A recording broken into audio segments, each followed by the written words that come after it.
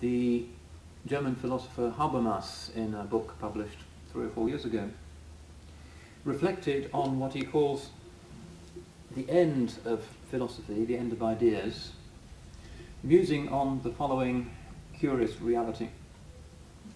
In uh, all earlier generations, when human beings sought to make sense of themselves and the world, the one thing that was constant was the human self. Ideas about God or the gods could and to change. Ideas about the meaning of the world, our life after death, uh, the list of virtues and vices, all of this was negotiated and subject of endless dispute down the generations of Bani Adam, but the one thing everybody agreed on was that the one that observed this was essentially the same. Human beings were the same kind of thing. Habermas then goes on to reflect that ours is the generation in which that is no longer necessarily the case. Ours is the generation in which we can edit ourselves so profoundly that uh, all earlier forms of religious or secular reflection are being interrogated in a way that may prove catastrophic. And here he says, essentially, transhumanism is going to put an end to all traditional shapes of belief. Because whereas previously we always assumed that the consciousness that inhabited human brains was the same kind of thing, and that human beings, irrespective of differences of race and probably of gender as well, could communicate with each other, could exchange ideas about the good life and about meaning and about truth and about the absolute. Increasingly, human beings are not going to be able to do that. Why? Because of our capacity to edit ourselves. Not only do we understand our genetic foundation, but we are increasingly capable of mastery over it. Legislation at present restricts many of the applications of the new genetic science, but anybody who has worked in a modern university will be aware of the fact that the big questions have essentially been addressed and have been answered. Transhumanism is controversial, but it's always in the headlines. It's the big issue of the day. To what extent are we morally entitled, or even obliged, not only to find cures for diseases, but to ensure that those diseases never happen again? To what extent is it legitimate for us as human beings that grow sick and grow old and die to try and edit those fundamental aspects of the human condition out of the uh, infrastructure which sustains the species? We can identify the aging gene. Does that mean that we should eliminate it in newborn children so that everybody can live to be a thousand, unless, of course, they die in an air crash or some other uh, natural disaster. What are the implications of uh, discoveries about the function of human memory? If we can identify the genetic basis for forgetfulness, should we eliminate that? Should everybody have a, a photographic memory? What is the basis for our identification of genes for aggressive behavior, for antisocial behavior, for criminal behavior? And increasingly, in a strikingly deterministic way, the modern neuroscientists are saying human malfunction is the consequence of uh, an unfortunate genetic shuffle at the moment of conception. This is the way in which our moral life is being reduced to matters of DNA and chromosomes. All of these are troubling issues. Troubling in two ways.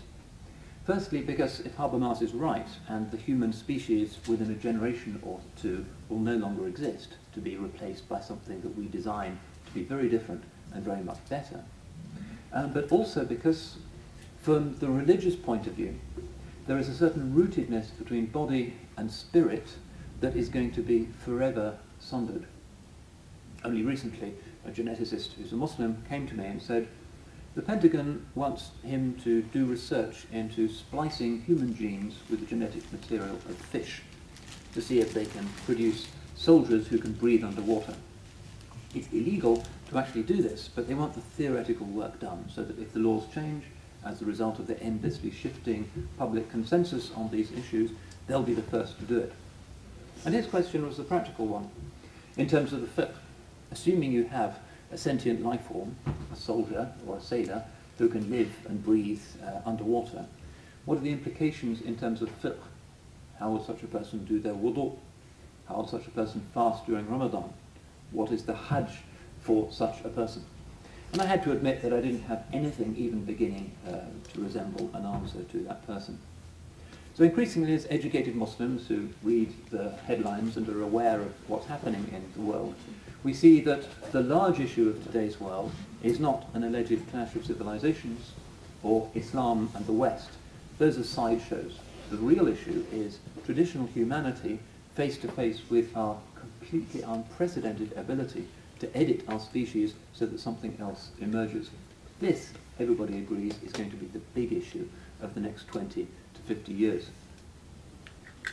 I begin with this because we know that in our case, the Sharia of Islam and the Sunnah of the Chosen One sallallahu alaihi wasallam are about our rootedness in our bodies and in the natural world.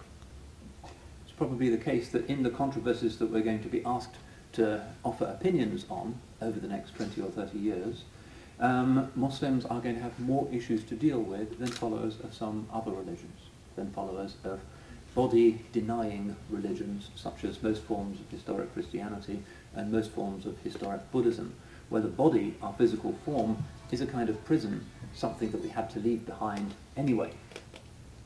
However, in the context of a religion such as Islam, where our rootedness in the ground of being comes through the body, where the body is not something that we slough off in order to release the spirit, as though it were nothing more than a cage from which our true selves have to emerge, there are going to be some very serious issues.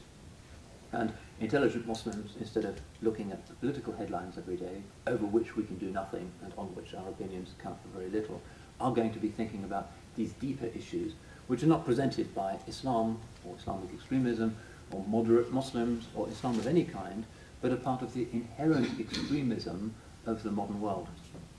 An extremism far more drastic than that dreamt up by any earlier generation. An extremism so absolute that it can propose consensually abolishing our species to replace it with something that we decide will probably be better. So as we ponder this, this reality, we have to think about the meaning of the Sunnah. If you look at the landscape of the different world religions, you'll find that they evince a different range of opinions on the authoritative pattern laid down by the founder of that religion. But uh, it's a sound generalization to say, and I think we can say this without anybody um, um, contradicting us, that in the case of Islam, the emulation of the founder is far more critical to the project of salvation, of spiritual liberation, than it is in any other religion. Christians may propose what they call the imitatio Christi, be like Jesus. What would Jesus do? Jews might follow the way of the Torah, which was carried by its original prophet, Sayyidina Musa alayhi salam. Buddhists may wish to model themselves after the Eightfold Path, which they believe was mapped out by the historic Buddha. And his life of renunciation is, in a sense, a precedent which they follow. But the details that we find in the Sunnah in Islam do not have a parallel in any other major world religion. The suspicion is that the fuqaha are going to be bewildered as they face the new reality of uh, genetically engineered humanity. And the preponderance of philosophical thinking now is that probably this is going to take place because if you can do away with cancer, you can do away with all of those ailments, you can make people see better, you can um, prevent them from ever forgetting anything. Inevitably, these things are going to become the realities that parents choose for their children. As the fuqaha deal with this, we are going to find um, that some of them kind of go along with it, uttering the usual nonsense about Islam as the modern religion, the religion of science, the religion of progress, and all of this other nonsense that we've never heard before in our history, but that so many of them desperately reach for. Uh, but we will also find a consensus and a majority, I think, who just say no we are not entitled to invalidate the books of fiqh. We can't change ourselves so that wudu and ghusl and Ramadan and those things no longer have the effect on the soul that they are supposed to have. We can't abolish the five pillars through science.